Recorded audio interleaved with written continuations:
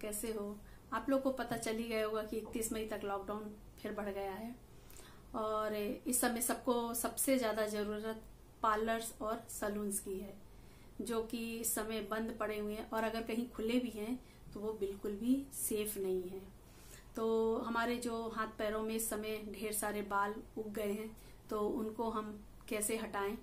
तो इसका सबसे एक अच्छा तरीका है लेडीज़ सेवर से बालों को हटाना। मैंने आज ये देखिए शेव किया है, शेवर से।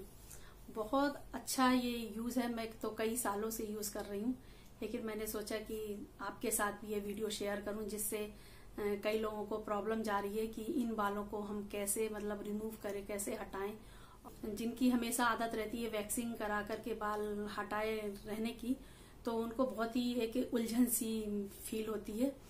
तो आप लोगों के लिए एक बहुत अच्छा तरीका मैं लेकर आई हूँ कि लेडीज़ सेवर से आप शेव कर सकते हैं। ये बिल्कुल सेफ़ है और इसके जो मिथ्स हैं, वो बिल्कुल भी मतलब बेकार हैं। आगे वीडियो में मैं बताऊँगी कि मैंने कब से यूज़ किया है ये लेडीज़ सेवर से शेव करना और क्यों यूज़ किया है। तो सबसे पहले आप ये वीडियो देख लीजिए कि मैंने आज कैसे लेडी शेवर से शेव किया है।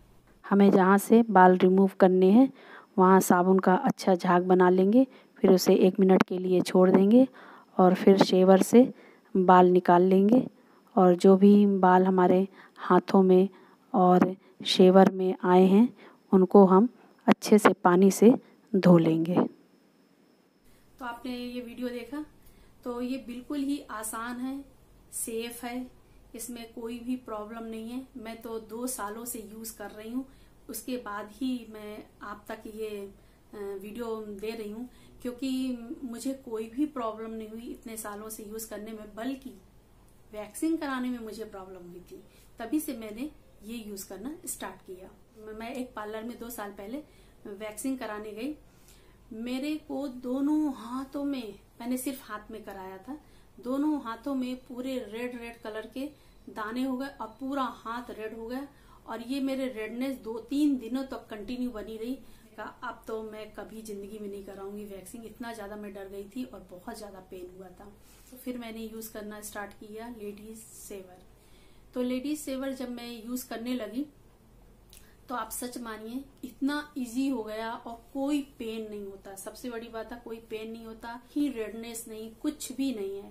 और पार्लर वाले बताते हैं कि आपको नहीं करना चाहिए, इससे आपके ग्रोथ बहुत ज़्यादा होने लगेगी, आपकी स्किन खराब हो जाएगी, काली पड़ जाएगी। स्किन मैं दो साल से यूज़ कर रही हूँ, मेरी स्किन में कोई भी प्रॉब्लम नहीं हो रही, ना काली हुई है, ना ग्रोथ बढ़ी है कि बहुत ज़्यादा बाल आने लगे हैं। फुल सेफ़ है, आप घर पे इजी कर सकते हैं। बस आपको ये ध्यान रखना है कि आपका सेवर, लेडीज़ सेवर होना चाहिए, ना कि जेंट्स सेवर। क्योंकि जेंट्स सेवर से आप करेंगे तो हो सकता है कि आपके हाथ में कुछ प्रॉब्लम हो जाए। देखिए, ये लेडीज़ सेवर है। मैं इसको दो सालों से यूज़ कर रही हूँ। आप कोई भी लेडीज़ सेवर मार्केट से खरीद करके उसको यूज़ कर सकते हैं। बहुत ज़्यादा सस्ता पड़ता है आपके पार्लर में वैक्सीन कराने की अपेक्षा। और इस समय तो बिल्कुल ज़रूरी हो गया है कि आप घर पर ही करें।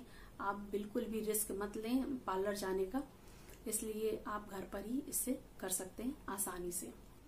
इसका भी एक मैं आपको तरीका बता देती हूँ कि इसको आप कई दिनों तक कैसे चला सकते हैं। तो इसको जब भी आप यूज़ कर लें, उसके बाद इसको अच्छे से धो करके धूप में सुखा लें और इसका जो एक एक कवर आता है, इस कवर में रख करके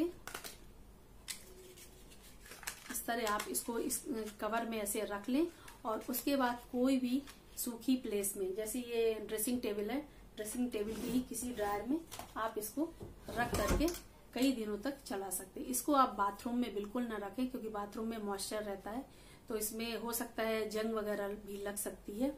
इसलिए इसको आप धूप में सुखा लें और फिर इसको कोई भी सूखी प्लेस में रखें। इसको हाथों में, पैरों में अंडर आर्म्स में यूज़ करिए।